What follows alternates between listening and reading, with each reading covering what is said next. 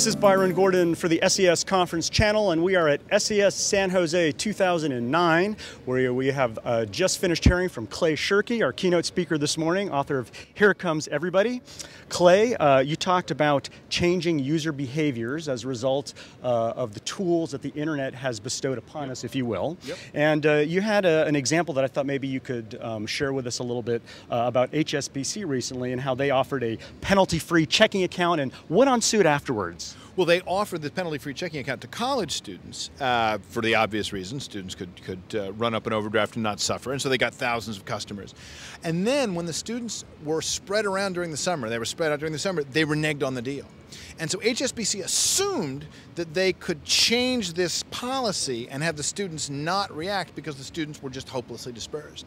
So a guy named Wes Streeting puts up a page on Facebook, which HSBC had not been counting on, and the Facebook site became the source of such a large and prolonged protest among thousands and thousands of people that within a few weeks HSBC had to back down again.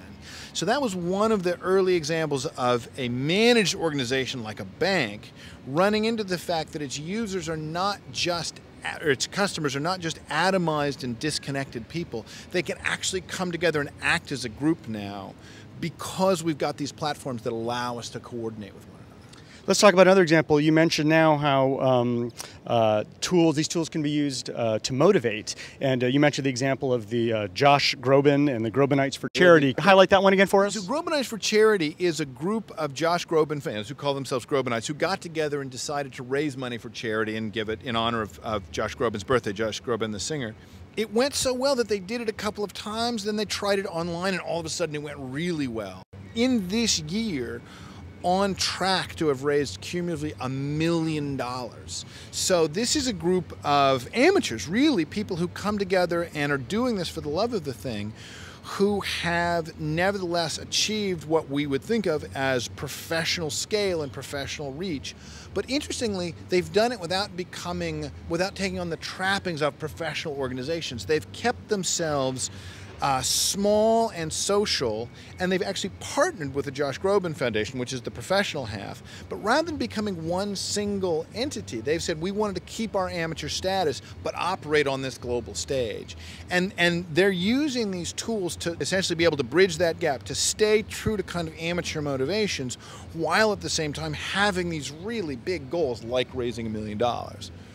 So let me ask you this. Uh, you said the price or cost of sharing has dropped. It's, it's so low that basically, you know, anybody can put up a web page today, anybody can put up a blog. And it's does. And frequently do, and does. And it's forced uh, traditional media sites, that's even like the New York Times, to consider publishing material that they wouldn't have considered in the past to publish. Is this in a way contributing to what some of us might call infotainment and does it hurt news gathering and collection because so much of this information well, yeah, is yeah, being yeah. featured now? Yeah, I, I don't think the infotainment problem seems to me to have actually started in the 1980s uh, with the rise of cable television. Um, that often, and, and, and surprisingly, what users are asking for from newspapers isn't more packaged, more glitzy, more entertaining stuff. They're asking for raw data. So very often they want access to source material. Uh, the second question is really the $64 million question. What does this do to news gathering? Uh, that question is unfortunately totally bound up not just in the desire of the public to know things about the news landscape, but also in the advertising market. And so we don't have a clean test of what would happen if we had an internet that enabled group action but wasn't completely destroying the classified advertising market for newspapers.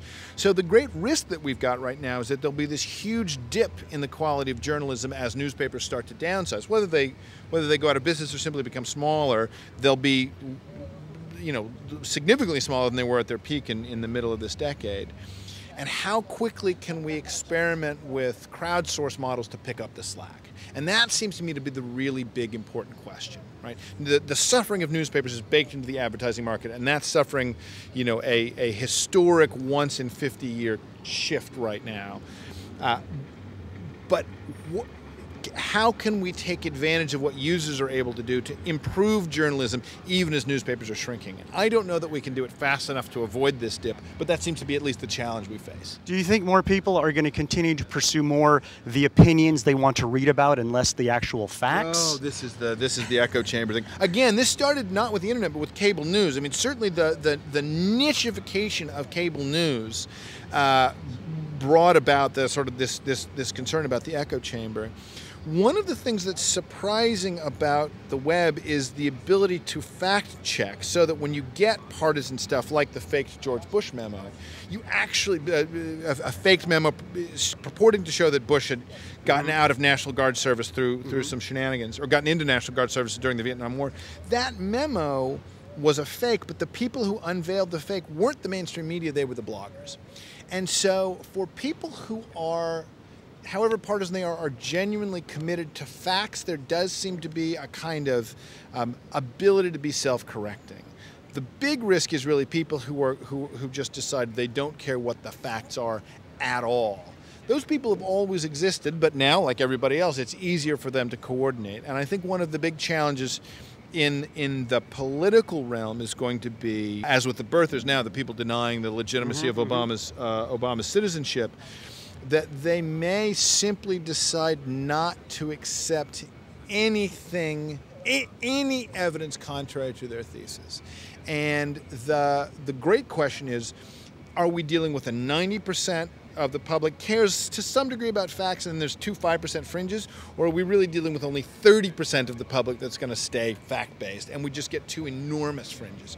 And again, we don't we don't know yet. I'm I'm betting on something closer to the 90% scenario, but it's I also admit it's an open question. A, a, subject for your next book, maybe? Maybe. Who knows? I mean, well, the ne- the next book actually is it's about the stuff I was talking about here. Stopping paying attention to behavior and instead paying attention to user motivations as they're filtered through available tools, so that we can stop being surprised by new behaviors and instead say, when when new capabilities come along, what are users motivated to do with these tools? Because that seems to me to be a better way to think about the future than, oh my gosh, people are sharing and they never used to share before. Well, nobody ever really gave us the chance before. So that's the subject of the next book.